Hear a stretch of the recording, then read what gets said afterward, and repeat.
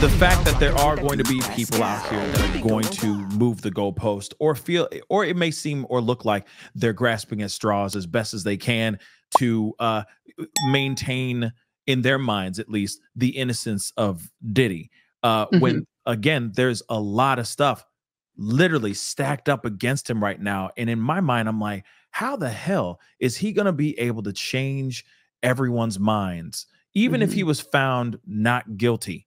Um, I just feel like what's done is done. And that evidence sure doesn't show RICO, it doesn't show, you know, trafficking of any kind or anything of that sort. Um, but it does show that there is really a violent streak in this man, right? Mm-hmm. Um, mm-hmm. So I'm wondering how, if anything, would he be able to walk out free as a bird? Huh. Well, this, you know, this goes to that. Um, that that issue that you, you you can't you can't come back from an accusation like this you know uh i'm i i personally don't sus- I don't have strong suspicions of a wrongful accusation here. Uh, there's just you know too much that's already been out there, too much that's been corroborated, et cetera, um, to to to really lead me to think that.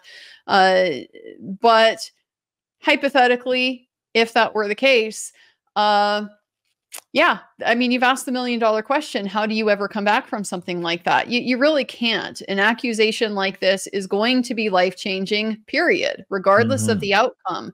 Uh, because even if he had a, a perfectly fair trial and uh, all the evidence was presented and the jury ultimately concluded you know what? I think all of this was consensual. We're not going to convict him. He's acquitted. There's always going to be people that disagree with that, that disagree with that conclusion, that have a different read on the evidence, oh, that didn't follow the case and just remember this stuff that we're hearing in, in this type of time frame, forming their opinions based on that.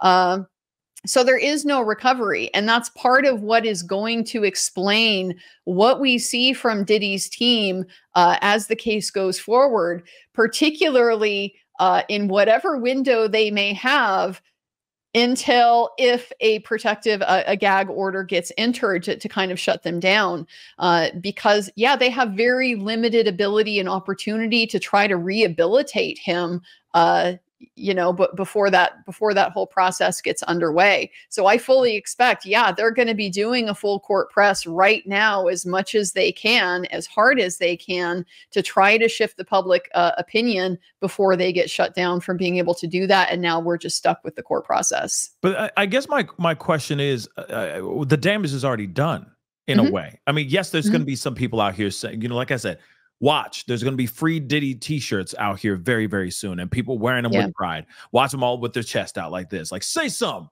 right? We already know it's going to happen. We already mm-hmm. know that's going to happen. There was already free R. Kelly t-shirts back in the day, right? Mm-hmm. Uh, but I, I, keep wondering, the court of mm-hmm. public opinion has, has already heard enough. Mm-hmm. We've already heard enough to come up with our own decisions and our, our own thoughts, our own verdict in a way, our mm-hmm. own individual verdict. So I, mm-hmm. I, I, keep wondering, like, how are they going to be able to turn this around when everything's done? Like the the, mm-hmm. the, evidence has been out here, or not all of it. Let's be real. There's mm-hmm. terabytes of evidence allegedly, potentially terabytes of evidence. Let's not forget the freak off parties, the multiple hidden cameras, the uh, videos that are being shopped around right now, allegedly, that are depicting big time celebrities in there in these particular salacious acts as well. So we haven't even seen those things yet, but those mm-hmm. things do exist. So mm-hmm. in my mind, I go, how how would he be able to, you know, turn this mm-hmm. around uh, successfully so that if he is exonerated, which I doubt will ever happen, he'll mm-hmm. be able to walk out with his head held high and not be bombarded with tomatoes. I just feel like yeah. that's coming. Yeah. Well, I mean, I think that uh, I, I would be shocked frankly, if his defense strategy is really anything other than going after going after the accusers, um, arguing that these were consensual consensual acts, uh, that the accusations are.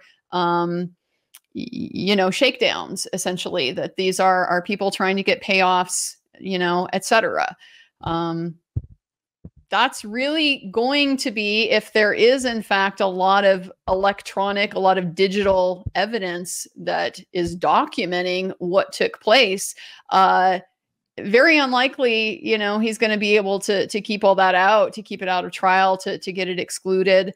Um and as soon as that comes out you know what what can he do with it? His only option is really to try to convince you you're not seeing what you think you're seeing. Um so to try to to try to spin that into something else uh, and, and, to me that's just the obvious course that that i would expect him to take here uh, to say oh yeah everybody knew you know everybody knew the score and everybody he's going to try to turn some of these uh, some of these accusations against him. He's going to try to flip the script and, and make them benefit him. Uh, the fact that this was an open secret, everybody knew all these celebrities were involved and stuff like, would they do that if they thought, you know, if anybody had any reason to think this was coercive or anything other than completely consensual and so forth? He's right. going to try to spin it. Um, so that's that's how I expect his strategy to unfold going forward. Hmm. Um, mm. And we'll see. We'll see how that plays out. P A S C A L. You are now rocking with that dude Pascal. We be going wild.